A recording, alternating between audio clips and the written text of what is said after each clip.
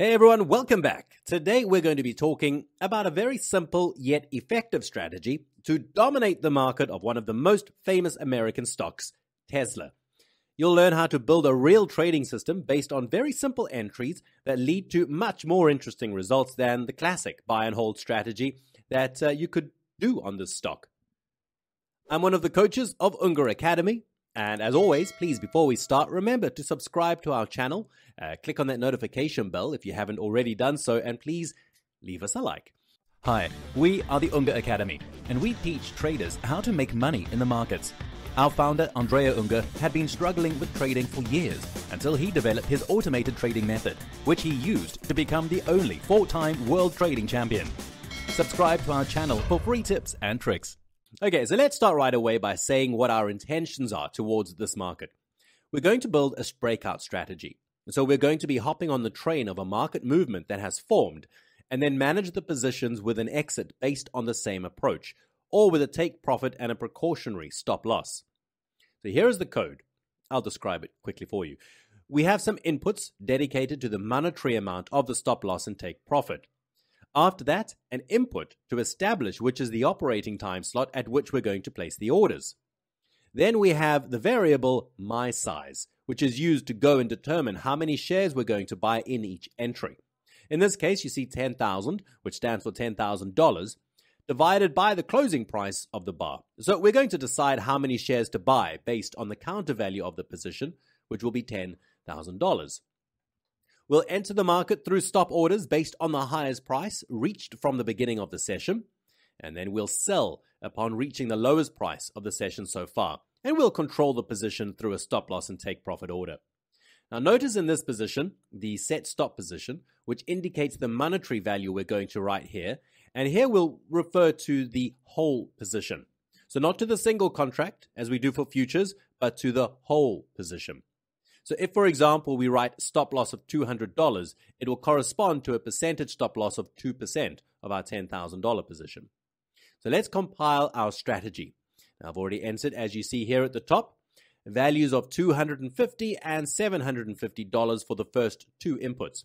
So we'll be dealing with a 2.5% stop loss and a 7.5% take profit.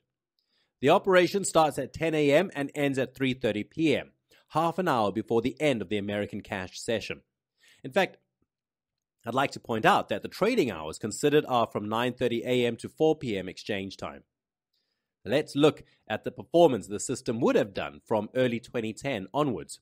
It is obviously only a long system because it is an equity asset.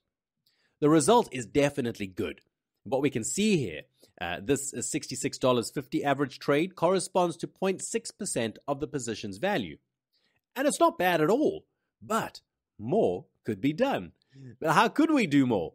Well, we can go looking for the best times to use this breakout entry uh, maybe waiting a little longer for significant highs and lows for the breakout entry could lead to a benefit. But for now, with an input set to, uh, you see here 1000, which stands for 10 a.m., we're going to build high and low values. So high D, 0, and low D, 0, based only on the first 30 minutes of trading. So, how can we find out what the best times would be? Well, with a very simple optimization. So, let's optimize the starting time. We could make, as an example, a start value of 9 a.m. to finish at 12:45 p.m. Now notice that I'm going to optimize the times, namely at 9, 10, 11 a.m. and then 12 p.m. at the same time, also the minutes.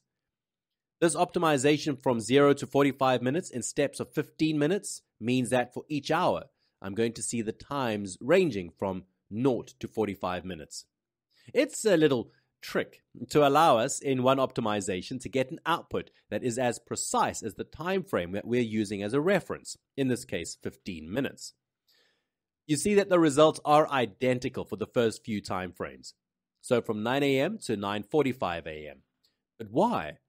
Well, because trading starts at 9:30 a.m. and the very first useful bar will be the one closing at 9:45 a.m.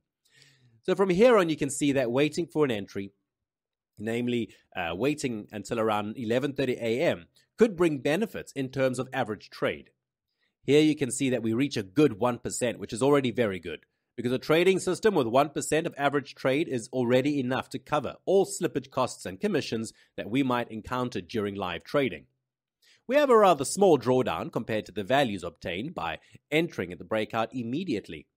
The number of trades is obviously reduced, so the net profit is reduced a little bit, but by operating with half of the trades, we'll definitely get only the most relevant trades from a performance standpoint. We then go to choose 11:30 a.m. as our entry time. So let's check the equity improvement.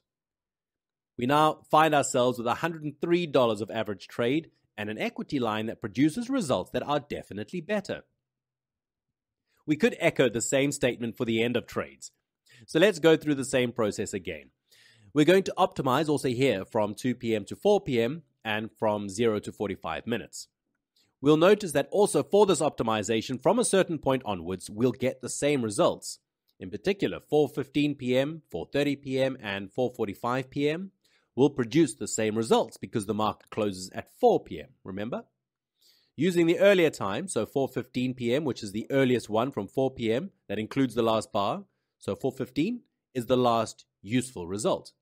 We can see that there is some consistency in the results, so to speak, and therefore we could use a time around 3:15 p.m., uh, 3 p.m. or 3:30 p.m. It doesn't make a, a great difference. You see that in terms of average trade, it really changes very little, and the same goes for drawdown and net profit. So let's pick 3:15 p.m., and we could say that our trading system can be considered complete. We've reached a very interesting rising equity with a large average trade and a pretty steady performance over time. It's only 2016 that you know wavers a little bit. Of course, this doesn't bring the returns that a, a, buy and hold strategy of Tesla stocks would have produced from the beginning of 2010 until today.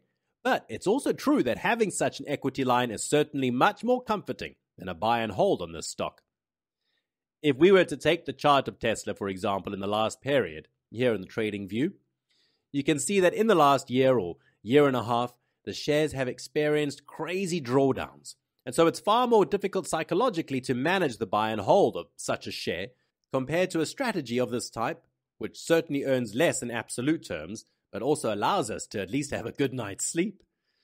Now, this is just a small sample of what we do on a daily basis here at Unger Academy. And if you want to learn more about systematic trading and how to build these automated strategies, I invite you to go and check out our free webinar. And you can find the link to that in the description of this video. In this webinar, Andrea Unger, the only four time world trading champion, will explain step by step how to approach this fascinating world. Finally, if you haven't done it yet, I invite you to please go and subscribe to our channel, leave us a like, and click on the notification bell to stay updated on the release of all our new videos coming up. Also, please, if there are any topics that you would like to be discussed in our next videos, please write them down in the comments. Thank you so much for watching, and we really hope that this has helped you, and uh, we'll see you soon. Bye bye.